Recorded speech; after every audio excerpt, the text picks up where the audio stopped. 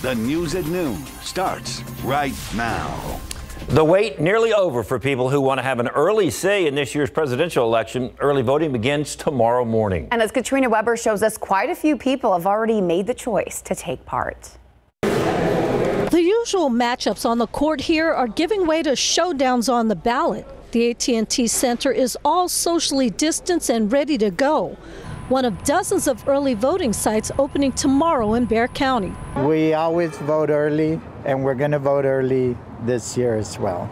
Yes, absolutely. I've looked up my closest uh, precinct to go vote near work so that I can get it done ahead of election day. These people, like many voters, are ready to make their choices early, hoping to avoid the crowds. They say there's a lot riding on this election. There is a lot at stake, and I definitely want to be sure that I'm participating. You never know what's going to come up on the last day. You know, something, some emergency comes up or something, and then you're sidelined. It's going to be election day for me.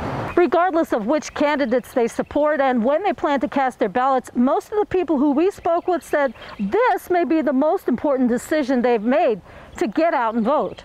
Because of the large number of registered voters, the governor has extended the dates for early voting in Texas, now going through October 30th. There also are some weekend and late night hours, some days as late as 10 p.m. Katrina Weber, KSAT 12 News. Less than half of registered voters here in Texas are confident Americans will trust the results of the presidential election. According to the latest University of Texas Texas Tribune poll, the survey shows 47% of Americans will trust the results, while 44% say they're not confident. 39% of Republican voters in Texas say they'll trust the results of the presidential election, opposed to the 45% for Texas Democratic voters. Most of the respondents don't think the winner will be announced on Election Day while 26% of Texas voters do think the winner will be announced on November 3rd. And you can read more about this poll and the concerns Texas voters have about voting and the 2020 election right now on KSAT.com. Well, early voting means the Bexar County Elections Office is very busy right now. Elections Administrator Jackie Callanen held a press conference at 10 o'clock this morning to show how preparations are going. Early voting was extended across the state this year due to the pandemic. Instead of two weeks of early voting, Voters will get three weeks. Election day is November 3rd. And for everything you need to know about voting, just head to ksat.com. And now the latest on the coronavirus pandemic here in San Antonio. Metro Health reporting 90 new cases and no new deaths. However, a backlog of 27 deaths from dates ranging between June 21st and September 24th were added to the total count. 192 patients are in local hospitals with 81 in intensive care and 39 on ventilators. Meanwhile, the South Texas Blood and Tissue Center is in great need of blood donations right now. It's hosting blood drives around the city this week to get help meeting their goal. There's a blood drive at Santikos Entertainment Casablanca today and tomorrow from 11 a.m. to 4 p.m. That's located in the 11,000 block of Alamo Ranch Parkway. If you donate at this blood drive, you will receive a free movie ticket. The South Texas Blood and Tissue Center also hosting two more blood drives this week, one at NISD Paul Taylor Fieldhouse on Wednesday and Thursday from 1 to 2 p.m. and another on Thursday at the Holiday Inn in Stone Oak. That one from 11 to 4. You can find all this information on how to register right now at ksat.com. The city of San Antonio expanding free COVID 19 testing to asymptomatic people starting tomorrow. The testing will be done on a first come, first served basis. Testing sites accepting people showing no COVID 19 symptoms are the Cuellar Community Center and Ramirez Community Center. The two locations will be open from 10 a.m. until 2 in the afternoon. No appointment is required. And you can find more information about those testing sites on our website and the city's website. And today, President Donald Trump's first campaign event outside of Washington, D.C., since he announced he tested positive for COVID 19 10 days ago. Joe Biden, meanwhile, continues to slam the administration's response to the pandemic while questions linger about the president's COVID diagnosis. ABC's Andrew Dymburt has more. With just 22 days until the election, President Trump heading back on the campaign trail, kicking off a busy week of rallies, declaring himself completely cured after his doctor announced he is no longer at risk of spreading COVID 19. Telling Fox News, I've been tested totally negative. But there's been little medical evidence to back up the president's claim. In fact, White House Dr. Sean Conley's latest letter, just 10 lines long, says nothing about the president testing negative. Instead, Dr. Conley says President Trump is is recovering and is no longer considered contagious. He should let us know if the, if the president has tested positive or negative. Despite few details being provided about the president's health and many unknowns about a virus that is still new, Trump asking Americans to take his word. It looks like I'm immune for, I don't know, maybe a long time or maybe a short time. It could be a lifetime. Nobody really knows, but I'm immune. His opponent, Joe Biden, calling that sort of talk irresponsible. His reckless personal conduct since his diagnosis the destabilizing effect it's having on our government is unconscionable. This while Trump's handling of the virus continues to take a hit with voters. A new ABC News Washington Post poll shows the majority of registered voters distrust what President Trump says about the virus, and two thirds say he failed to take appropriate precautions. The Trump campaign also facing pressure for a new political ad falsely suggesting Dr. Anthony Fauci was praising the president's pandemic response. I can't imagine that any anybody could be doing more. But the comment was made in March and was about the government response as a whole when little was known about the virus. Fauci telling ABC News he has never publicly endorsed a candidate, adding those comments were taken out of context and used without his permission. And now both candidates hit the campaign trail here in the final stretch. Today, Joe Biden stumping in Cincinnati and Toledo, while President Trump speaks to supporters in the critical battleground state of Florida. Andrew Dymburt, ABC News, Washington. Well, although today is Columbus Day nationally, the state of Texas does not observe it. Instead, today is Indigenous Peoples Day in San Antonio and Houston. And here in the Alamo City, activists are planning a downtown march supporting human rights and indigenous dignity. Marchers will gather at Columbus Park at 2 o'clock this afternoon. That after the city took down a statue of Christopher Columbus. Activists had called for the removal due to Columbus's history of slavery and oppression of indigenous people. To come this half hour, Dak Prescott now recovering from ankle surgery while Andy Dalton takes over for the Cowboys. And how a local woman overcame her fears and turned a hobby into a way to help others.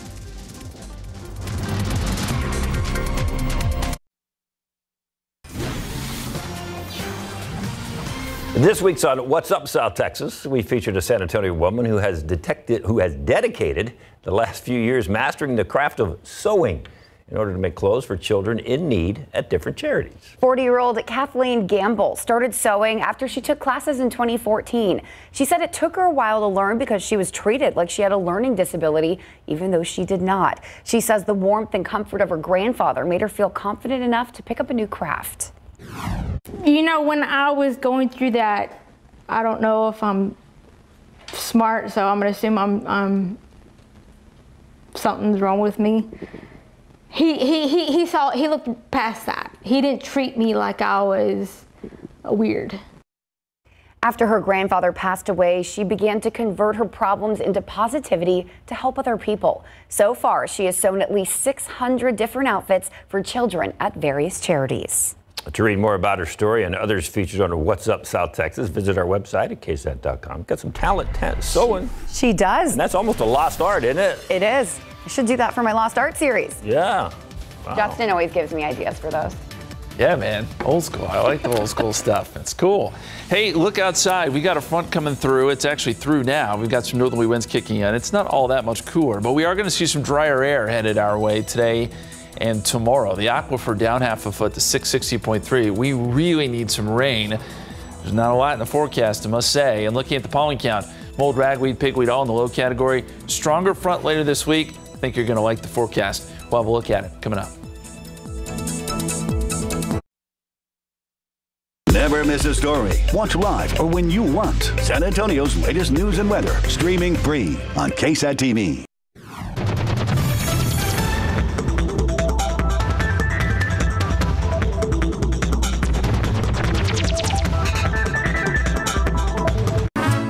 KSAT 12 presents another Day of the Dead story. Eh, calaveras aren't just the painted skulls you see every year. Calaveras can be written, and they are humorous and a poetic Day of the Dead tradition. A calavera is written about someone who's still alive. To poke fun or to bring somebody down, in the form of a pun or satirical piece of poetry.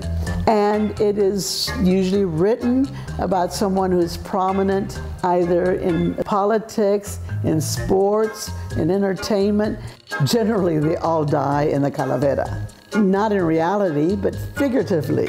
Calaveras are not written about people who are already dead, and that's because a person cannot defend themselves. It's cowardly, I think, to make fun of someone who has already died. So, to write a good calavera, you strip that person down to the very essence. You pick out that quality that you either like or dislike, and then you write it in a form that makes fun of it and that makes that person come alive for you and I.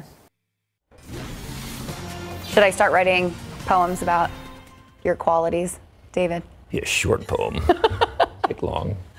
I don't know. It might take you a few minutes. Think of something. I'll, I'll say nicer things about Justin in a poem if he gives us a cold front. Ooh, wow, wow. Okay. Pressure's on. Listen, I, I think I can deliver on this. Uh, Oh, you're this lucky week. then. I know. Uh, it, it's looking a lot better. it's looking a lot better. Hey, I want to show you guys a time lapse from this morning. Look at this. Okay, so we have the clouds. Watch them just reverse course right there. Did you see it? Uh, that was the front coming through. We've got the northerly wind kicking in. Uh, it's not all that much cooler outside. Now it's uh, cooler than it was yesterday. We're going to see cooler temperatures today, but still fairly warm, 88 degrees. Dew point is at 68. We're waiting on that number to drop off, and it will, but it's going to take until the afternoon probably for that to happen. You look at the dew points right now, still in the 60s, but that dry air is just off to our north. This is lagging behind the front a little bit. Dew points in the 30s and 40s up there around Waco and Abilene and Dallas. A little closer look here. Yeah, we still have 60s and 70s, but Kerrville, dew point now at 44, Rock Springs at 45. Dry air is on our doorstep. It will be here this afternoon. And I think the temperatures may level off just a little bit just because we are getting some slightly cooler air coming in behind this front. And as we fast forward in time here, this is around midnight, dew points really do drop off here around San Antonio, and that's going to allow for some cool temperatures tomorrow morning. Wind gusts, yeah, they're picking up a little bit. We saw some pretty good northerly winds with this front. Right now, gust at 16 at Fredericksburg, but that's about all we got. And when we're talking about the gusts, eh, 14, 15 miles per hour, maybe a gust up to 20 miles per hour through the afternoon. And then the winds will fall off as well. Temperature wise, 82 in Comfort, 83 Kerrville, a little bit cooler up there. 89 Castroville, 85 Stinson, 87 at Randolph. And you're in the mid 80s out in Del Rio. 85 Kenedy, 87 Cotulla. You're still out ahead of the front, or at least that front's just now working through some of our southern counties. And we can see it very nicely here on the visible satellite picture. A few clouds trying to work through Bexar County. We've also got a few clouds right on the front uh, farther to the south. But all in all, mostly sunny day. Uh, that's what we're expecting this afternoon. More clouds along the front as you get up towards Memphis and uh, towards the east, but not a lot of rain. And now we've gone 20 days consecutive. Now today would make 21 without rainfall here at San Antonio International Airport. And that streak is good enough for second place, uh, just behind our streak that we have from June 27th to July 25th. And it's not looking great, I got to tell you, down the line for rain chances, even with this next front that we got headed our way. There is a little bit of activity out in the Atlantic. There are some indications that this could develop 30% chance of development as it moves off to the west. Uh, thankfully, we, we've at least got a little bit of break here, but uh, this need to be watched as we go uh, forward in times. But that's uh, that's all we have in the tropics right now. So as we get into tomorrow, temperatures will be in the upper 80s, mostly sunny and dry. Humidity tries to return some on Wednesday, and it will be warm. We're thinking low 90s for highs on Wednesday, probably our hottest day. Thursday is a transition day. We'll get the front coming through. It'll get windy. Northerly winds kick in. And then look at the high temperature on Friday 74. That's what we're talking about. That's fall weather. That's what we need around here. It'd be nice if this front would come with some rain. It does not, but at least it cools us down some. It will be windy during the day on Friday, too. We should pass that along. 87 degrees, 2 o'clock today. 88 by 4 o'clock. We'll be up around 89. We're already in the upper 80s, so again, temperatures should level out some. And then we'll go 88 tomorrow, lower humidity, 92 Wednesday, 88 on Thursday. There's a slight chance of a shower generally south of San Antonio Thursday night into Friday, but it's a low chance. Windy on Friday and the weekend. 48 to start Saturday, with a high 79. I'm liking that. Got excited for a second. I'm sorry. Start writing. Let's start writing our positive poems. Lost my mind. Good job, Justin. Thank you. He took a bow. You guys didn't get to see it, but it was lovely. Awesome. Hey, we got an update on Dak Prescott coming up in just a few minutes. And the Texans break their losing streak next.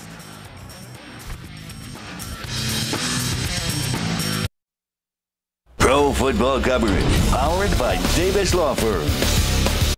You are looking at a photo of Dak Prescott and his brother from Dak's hospital room last night. Dak had surgery on his right ankle after suffering that dislocation and compound fracture during yesterday's game. According to Cowboys owner Jerry Jones, it all went well, and Dak should be out of the hospital today. It's good to see smiles from the hospital room in Dallas after what he's been through. Before the injury, the Cowboys got off to a slow start like usual, hosting the Giants. First quarter, Dak Prescott's pass is intercepted by Kyler Fackrell, and he follows the convoy of blockers into the end zone. Dallas once again trails by double digits. They're down 14 to 3. Really bad Cowboys defense made a really good play, though. Demarcus Lawrence drills quarterback Daniel Jones. Ball pops free. It turns into an Anthony Brown scoop and score, 29 yards to 17 all. Then just before the half, a little trickery with 20 seconds left in the half. Prescott to Elliott. Lateral back to Cedric Wilson. And look, there's Dak down there playing receiver. That's a touchdown. The first receiving touchdown of Dak's career. Dallas is up 24-20 at the break. Second half, Dallas up 24-23. Driving. The unthinkable happens. Prescott scrambles. He's taken down. His ankle gets twisted underneath him. He's carted off the field in tears. He acknowledges the crowd. That was the injury that put him in the hospital last night. Cowboys finished that drive off. Ezekiel Elliott takes the handoff, powers his way through the defense. 12 yard touchdown. Dallas up 31 23. Giants score the next 10 points to retake the lead. This time it's Devonta Freeman from four yards out. They go on and convert the, that, and it's 34 31. But Dallas ties it up on a field goal, and they get the ball back with a chance to win the game. Under 30 seconds to play. Backup quarterback Andy Dalton up for Michael Gallup, brings it down, stays in bounds, 38 yards, and that sets up this. Greg Zuerlein, game winner, 34 yards out.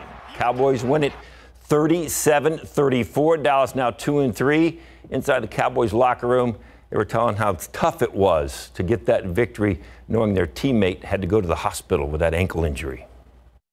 One thing that you've seen with this team is there's no flinch, and we've played all the way to the end in every single game. And I mean, that's what you love about it. Everybody's playing for each other, and uh, you know, today we were able to find a way to win. I know we won, but it just it just sucks to, to lose Dak, our our leader. Um, and uh, I was talking to the guys. This uh, it's going to take all of us. It's going to take all of us to uh, fill that void that uh, we're going to be missing from four, and uh, we just got to go out there and um, play for him. I know Dak's a fighter. we came in together.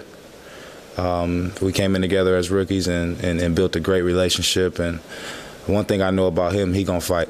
So um, just looking forward to, to hearing hearing his voice. Got to hear him. All right. Once again, Dak expected to be released from the hospital sometime today. Cardinals at the Cowboys next Monday night. That's a 7:15 kickoff at AT&T Center. Proof that sometimes change is good. Bill O'Brien fired as Texans coach.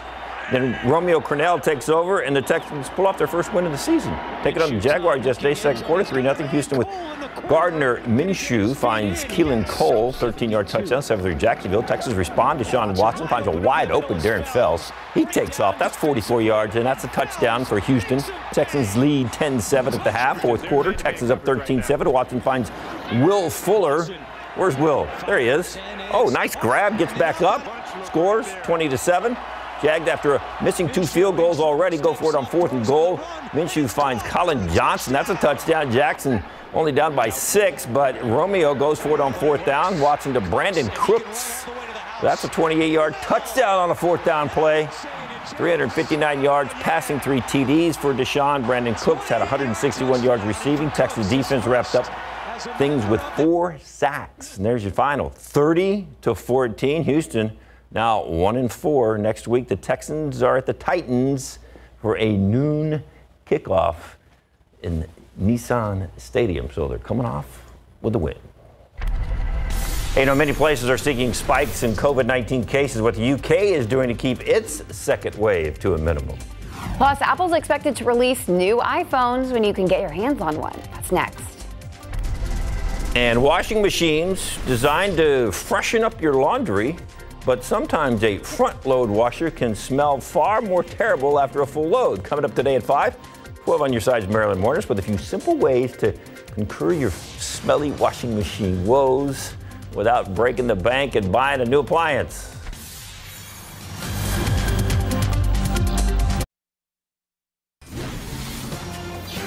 All eyes on Capitol Hill right now as Republicans hope to finish Amy Coney Barrett's confirmation hearings. ABC's Faith Abubey shares the latest involving her nomination to the nation's highest court.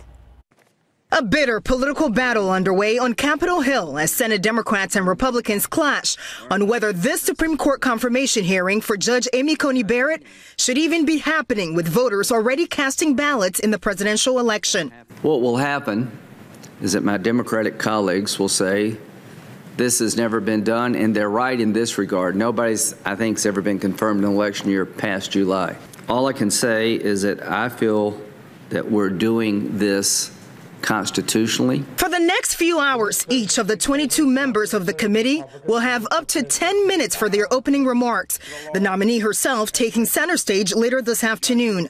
According to a copy of her opening statement obtained by ABC News, Barrett will talk about her family, her faith, and how her judicial philosophy mirrors that of her mentor, the late Justice Antonin Scalia. Barrett writing, quote, courts are not designed to solve every problem or right every wrong in our public life. Democrats, including vice presidential candidate Kamala Harris, sure to grill Barrett on the Affordable Care Act, a case scheduled before the court just a week after the November election. She'll also be pressed on her position on Roe v. Wade and asked to pledge to recuse herself from any case related to the presidential election. The stakes are extraordinarily high for the American people both in the short term and for decades to come. The latest ABC News Washington Post poll shows 52% of registered voters want the winner of the presidential election to pick the Supreme Court nominee to replace Justice Ruth Bader Ginsburg. But Republicans hope to complete the confirmation process and have Barrett on the court a week before Election Day.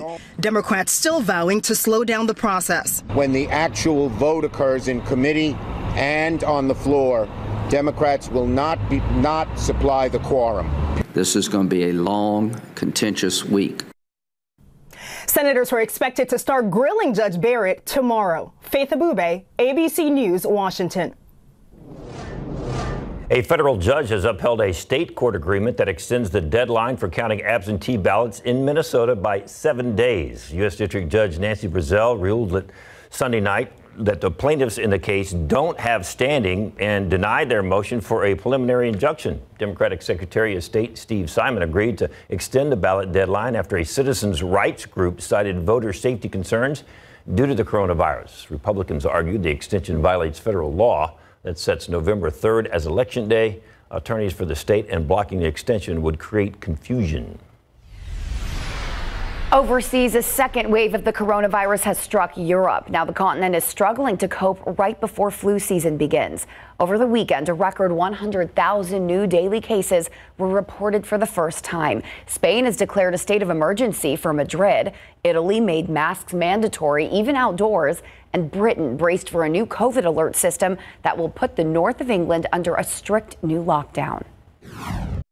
We now have more patients in hospital with COVID 19 than we did before the government announced restrictions of March the 23rd in the spring.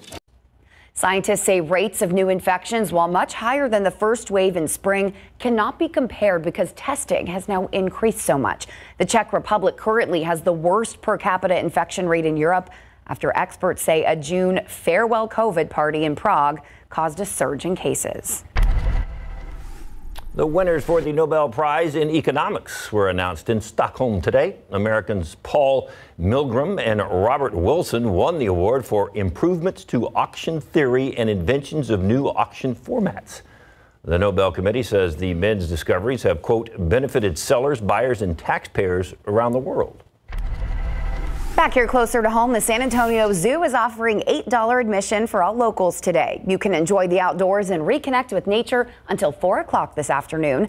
The discount is the zoo's way of showing gratitude for the people of San Antonio. You can buy tickets at the front gate with proof of re residency. If you can't make it out today, don't worry. There's a complete list of locals days on the zoo's website, sazoo.org. Outside with live cam, this is what we call a transition week. We start off in the 90s on Sunday, and by the end of the week, ooh, kind of down to the 70s, I guess, huh? Happy transition. Ooh, yeah, happy transition. We'll, we'll, take transitions when it's, uh, you know, in the upper 90s over the weekend. It was so hot. Uh, we are going to get a little bit of a cool down today and then a bigger one later this week. I want to show you visibility first. Why are we showing you visibility? There's no fog out there, but there is a little bit of dust in the air. This front is kicking up some dust. Sort of a secondary push here that we're about to get here in San Antonio. You see up there around Kerrville and Austin, visibility down just a little bit. So if you notice a little bit of dust in the air, that's why it's with this front, and it's got some gusty winds with it. Uh, we noticed an initial wind shift a little bit earlier this morning. Here's sort of the secondary push, and this is bringing the drier air and those gusty winds with it. Right now, temperatures are still plenty warm 88 degrees at the airport, 90 at Port SA, and it looks like we may briefly hit 90 before temperatures sort of level out a little bit. 83 Comfort, 83 Kerrville, 87 right now in Bandera. Here's how the forecast looks today. We'll call for temperatures in the upper 80s. Again, they may dip or at least hold steady through the afternoon, and then we'll see them fall off tonight. We'll have clear skies, winds will lighten up a little bit, and that should allow for some cool temperatures tomorrow morning. We're going to talk about that second front, though. This one's a good one coming up here in just a few minutes. Guys. All right, Jeff, thank you. Still ahead, Apple joining the 5G revolution in a big way. Details on when its new line of iPhones are going to be unveiled. And you won't believe this. A woman in Scotland does so many tattoos of Eminem's face on her body. She's earned a Guinness World Record. What started her love affair with the rapper is still ahead in the spotlight. And Microsoft employees may be working from home for good. Details on the tech giant's new hybrid model after the break. He almost didn't make it. Oh, man. I, yeah, okay.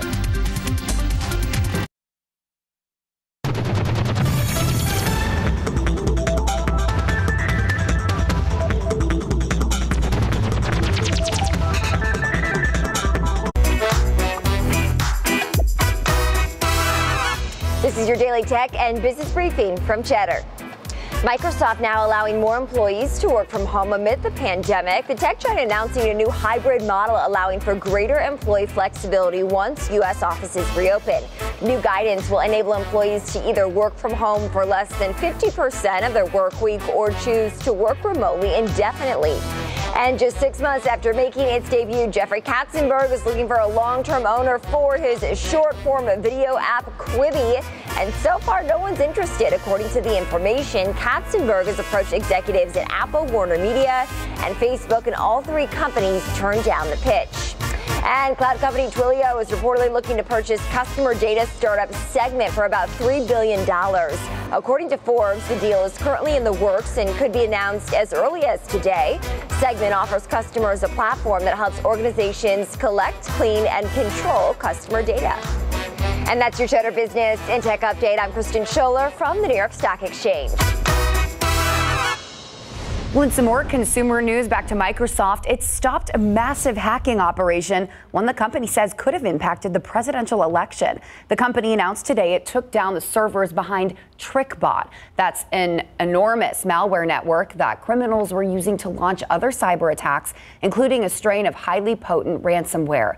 Microsoft said it obtained a federal court order to disable the IP addresses associated with TrickBot servers and worked with telecom providers around the world to stamp out that network. After weeks of delays, Apple expected to introduce a new line of iPhones tomorrow. Multiple reports indicate Apple is going to unveil four new iPhones. They got small sizes all the way up to large sizes in their screens. The biggest is 6.7 inches. That's the largest screen yet from Apple. The invitation to virtual event uses the phrase high speed, which hints that the new models will take advantage of emerging, emerging 5G wireless networks. There's no word yet on pricing for the new models being unveiled Tuesday.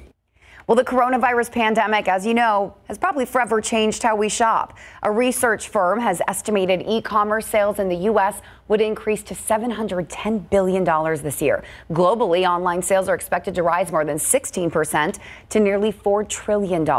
Retailers with a large online presence like Amazon and Walmart are doing very well right now, while others that rely heavily on mall sales or they haven't fully adapted to online shopping they're facing extinction. Experts say the longer the pandemic goes on, it's more likely customers will stick to their new shopping habits, such as curbside pickup and home deliveries. Outside with live cam. Yesterday was hot, but it involved yard mowing, football, and napping. So I have no. Did we break a record yesterday? We did. I missed it because I was doing all that other stuff. We got up to 97. That was a record for the day. Wow. I'm impressed. A lot of lawn to mow. Toasty. It was toasty outside. it was humid fun, I can tell you that. yeah, it was at least humid in the morning. We're, we're losing some of the humidity now, which is great news. Frontal boundary is pushing through. We're getting some dry air starting to funnel in. And temperatures so far today up to 89, so still pretty toasty, but the numbers should level off a little bit. The average is 83, so we've been above average. Uh, average low is 61, records are 99 and 41. We may get some temperatures in the 40s by this weekend, at least in the morning time. We're going to talk more about that forecast coming up.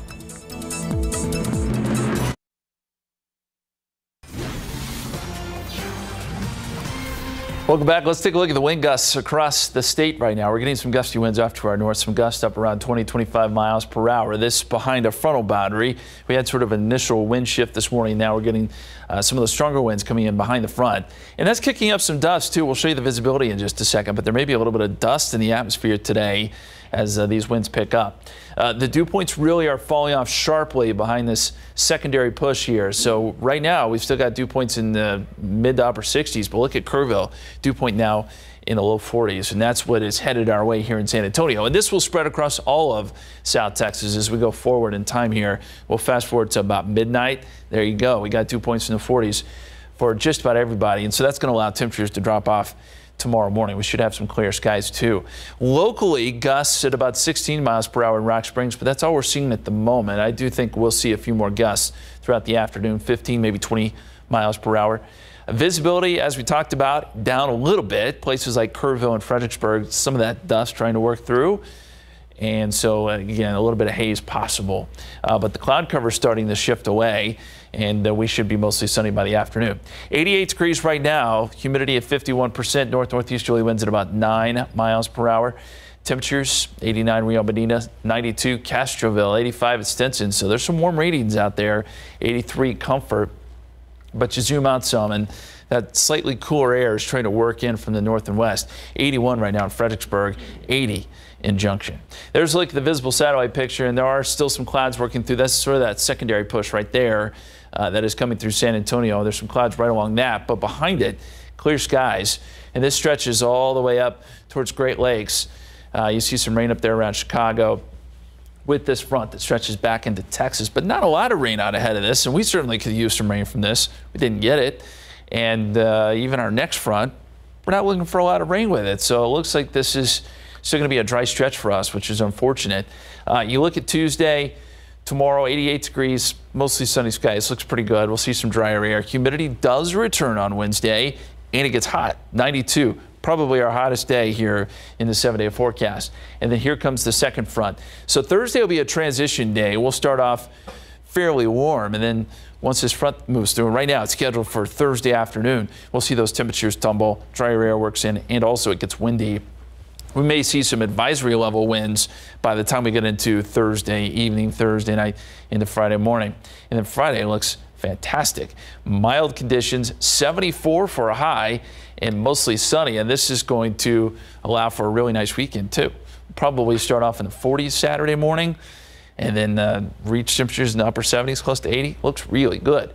87 degrees by 2 o'clock today. That means temperatures may come down a little bit from where they are, but uh, topping out close to 89. Mostly sunny skies throughout the rest of the afternoon and some breezy winds. Extended forecast 88 tomorrow, 92 Wednesday, as we mentioned. There is an outside chance of a shower once that front comes through Thursday night, but it's a low chance. Otherwise, windy and lower humidity as we go into the weekend. Guys. That's a serious Friday night football temperature. Right? Ooh, yeah, it's going to feel good. Can't wait. Hey, hit Netflix series Tiger King continues to make headlines months after its debut why one of its stars now facing charges. That's coming up next in the Spotlight. Plus, Gal Gadot is teaming up with the director of Wonder Woman once again for a different role. Details on the new film next.